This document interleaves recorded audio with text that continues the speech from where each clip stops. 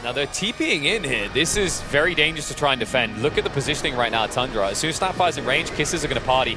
Phantasm on the backside, moves in to drive back on the Sacred. Stun is going to come out. Matthew trying to save the day by getting rid of the Tombstone. Sacred able to walk off out of Sunstrike. Matthew in a bit deep though, so Marcy should go down.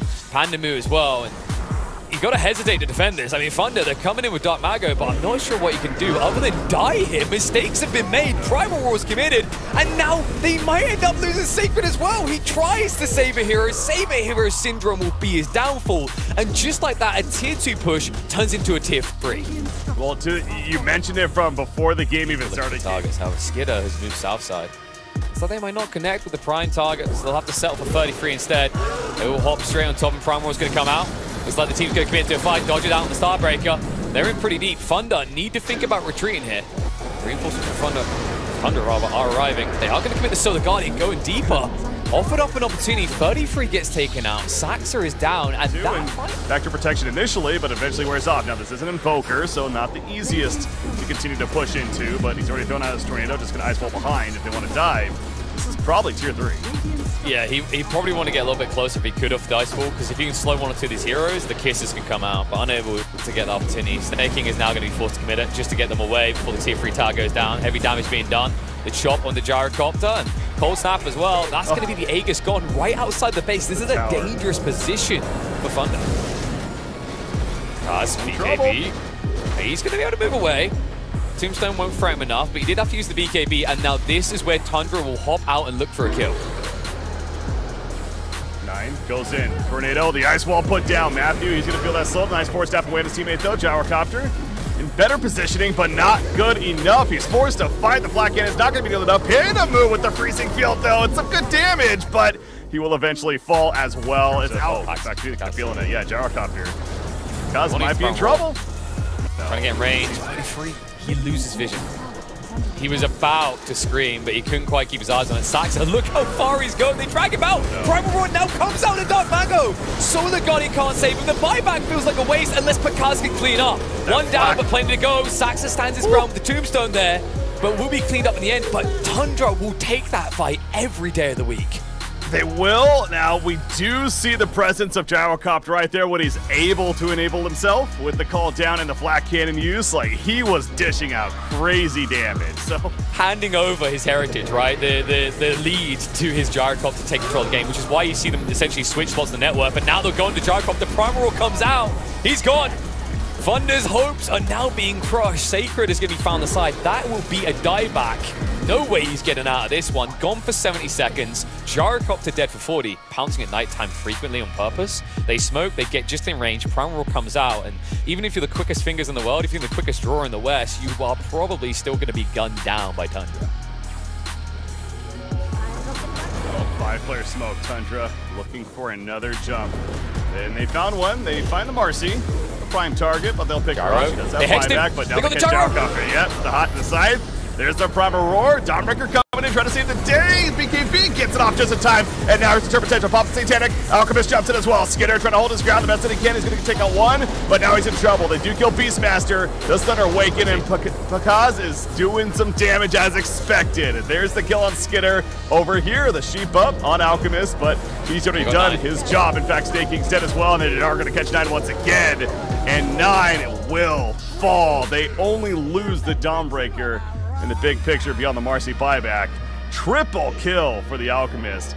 The, the interesting difference is it goes back to the idea that it's all about enabling Gyro. Usually Marcy's about how do I stop a carry, but not this time around. Speaking of carry though, Dawnbreaker has been found out. Once again have to retreat, and Skiter needs to be careful because this time he doesn't have magic immunity. Meatballs being dropped onto the salad, but I don't know if Skiter can turn this. Stun's are gonna come out, tries to go for the kill on the CM, but he gives his life over in the end. Three are dead on the side of Thunder though. Invoker just picking and poking at the side here. Allows him to take the lead. Missed. going in. The concoction, though, going to be lifted up by the tornado. Comes back down. The ice wall put down. Gyrocopter's in trouble. Crystal Maiden buys back, trying to get here to help save his teammate. Gyrocopter, flak cannons. He's got Satanic in 10 seconds. If he can hold this out, Tundra wants to kill it, but it's such a difficult ask when they've already used so much. Initially, Saksa's going to get beat down, and the rest will retreat. So, uh, this is what.